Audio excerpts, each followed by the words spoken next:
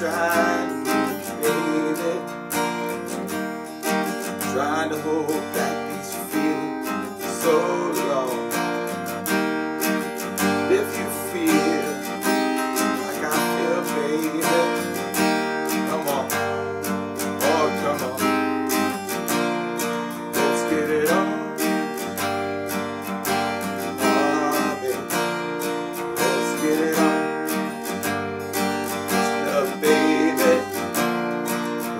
it.